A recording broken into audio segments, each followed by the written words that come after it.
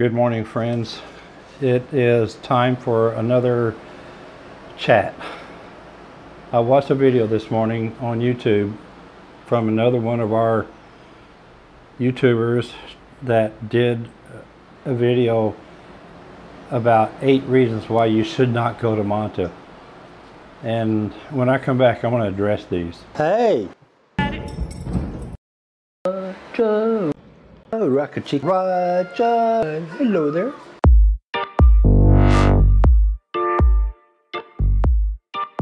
So I'd like to say, I, I'm not going to mention this person's name, just like the last time I talked about somebody that did a video about anything, about something here in, in Ecuador and about retirement here that I didn't necessarily agree with, and I don't want to, I don't want to be uh, that person that that watches other people's videos and then critiques them, especially in a negative way. And uh, so I'm going to try to be as put as much of a positive spin on all of this as I can. I, I this guy.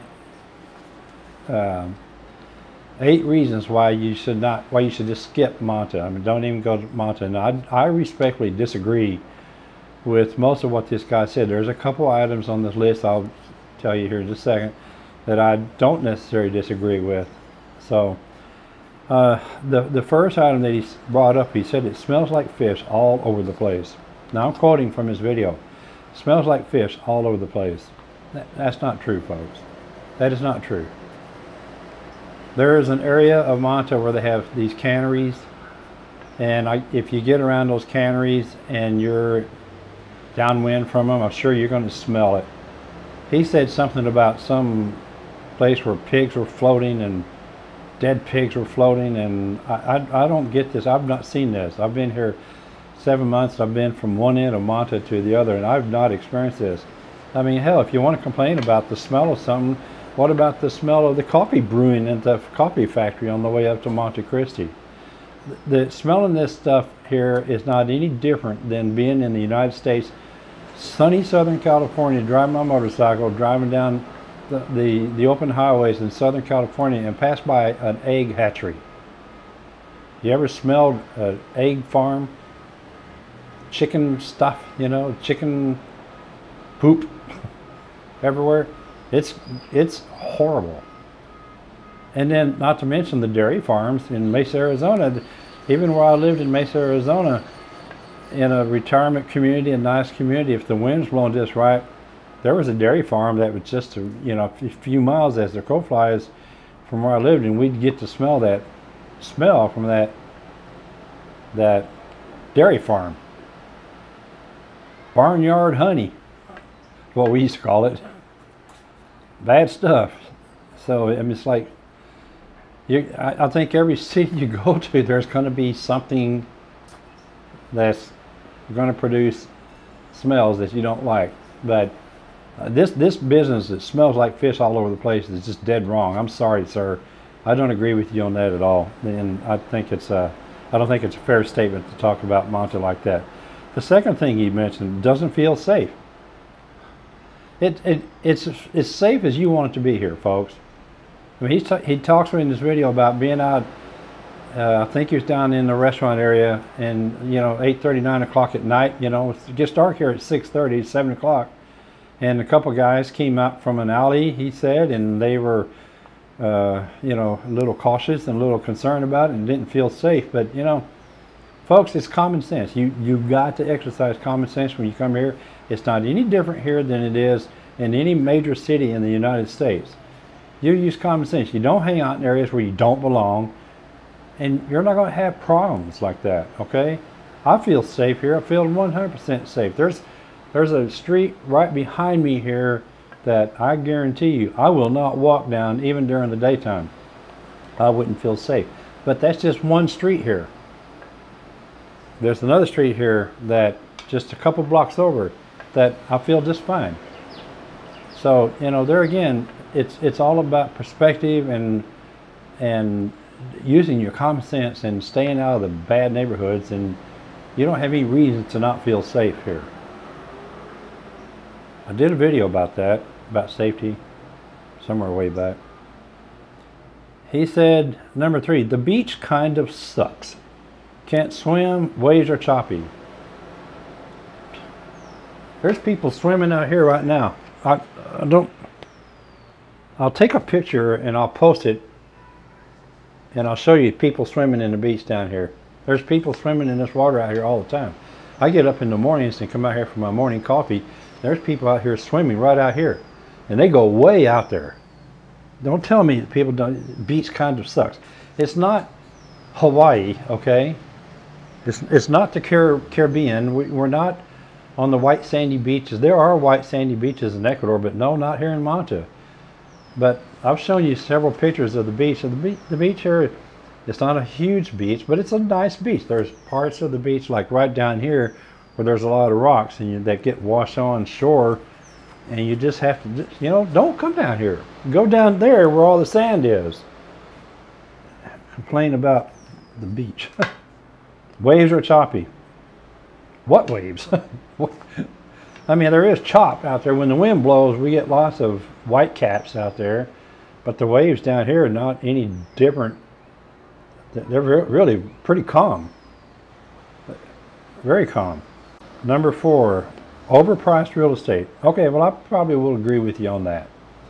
Of the cities in Manta, it's probably, I mean, I, it's, it, I don't know about Quito. I haven't been to Quito. I, it's probably, of all the beach cities, it's the most expensive beach city to be in. Overpriced real estate. I mean, I, yeah, I mean, you know, I'm, I'm going to be in Cuenca in a couple of weeks, and I'll I'll get a first-hand taste of what real estate is like up there. But I already know that it's more affordable there than it is here. I mean, it's a beach. It's a beach area. It's like Costa Rica and Miami and any other coastal town. Uh, the real estate's going to be higher. It's, that's just economics, folks. But I mean, I, I, I and to some extent, I do, I do agree with you on that. Traffic really bad. What do you care? You get in a taxi and go where you need to go, and then you come back home. Most of the traffic is taxis. So what do you care? Traffic really bad. I, I, I go to Southern California, go to LA. Get on the 405 and then tell me traffic's bad here. Come on, you got to put this. Think about reality when you think about this kind of stuff. There's more traffic here in Manta. Of course, it's a city. It's a big city. Like 300,000 people here. There's going to be traffic. This one here really gets me. He says, he makes a reference to uh, Manta is a shithole. He, he, he said he wasn't going to say it out of respect, but then he shows a picture of a toilet with a bunch of waste in it. And he compares Manta to Cleveland. I don't get this at all. That's I think that's disrespectful. That's disingenuous. Manta is not a shithole. And I think you should take your picture of your toilet. I think you should take that video completely down. That's that's just bad taste. That's just poor taste right there showing that picture of that toilet. You'll never see that on my videos, folks. Then he says it's really hot, dry, and dusty, always under construction. There's a lot of construction going on. This place is a developing city. There is a lot of development going on here, thank God. This place was literally destroyed in the 2016 earthquake five years ago, seven years, six years ago. My math is right, yeah. Uh, I mean, there's a lot of development going on. So yeah, sure, there's construction, but I mean, I remember living in Houston in the 70s, a long time ago. I lived there for 10 years, and the highways there were always under construction. I never saw it when it wasn't.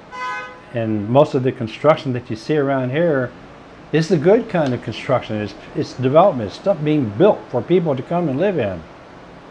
So don't don't say this is a bad reason for not coming to Manta. That's BS. Then he says it's right on the fault line. Major quake every 20 years. Right on the fault line. I don't know about that. I'm going to have to research that. I've seen, I have this little app in my phone that shows all the daily earthquakes. And you can actually look at a map. And it looks to me like the fault line is out there. Way out there. I don't think the fault line runs through Manta. I don't think you're wrong. I'm to find out, and I, if I'm wrong, I'll put it in the description. He says Manta really sucks. That's, folks, I, that's, no, that's not true. Manta does not really suck. My own personal perspective, I don't think that Manta is the first choice when it comes to coming to Ecuador and buying property. If you want to be in the real estate business, it might be a good choice because a lot of people come here to rent. You know, a lot of people come here from Quito for the holidays and vacations, and the, the rental market's really lucrative here. And there's a lot of development. The condo projects that are coming up at Bay, Bay Front or Bay Area, I can't remember what it's called. I'll put it in the description. And, you know, that that part, you know, from that standpoint, yeah, I mean, it, it's okay. I think that the best purpose for Manta is to come here when you want to come to Ecuador. Come to Manta. You're on the coast. You get to enjoy the beach. There's great seafood here. There's medical help everywhere. There's healthcare is abundant and is available. And it's a good place to, to pick as a landing spot. And then you can venture out and explore from here. There's beach villages all up and down this coastline. And you can do all that right from here in Manta. So don't get it in your head that Manta sucks. This guy is dead wrong. And I'm sorry. I'd say that with peace and love. Sir, my fellow YouTuber, I'm not going to mention your name, but I bet you people know who you are. And I just think you're wrong on this one. Okay? So that's it, folks. I, uh, if you like my channel, please subscribe. The subscribe button, let's see if I get this right, is right there. Okay? Just push that subscribe button if you want to subscribe. And then also, don't forget to ring the bell if you want to be notified when I have a new video coming on board. Okay? So from Ecuador, have a great day.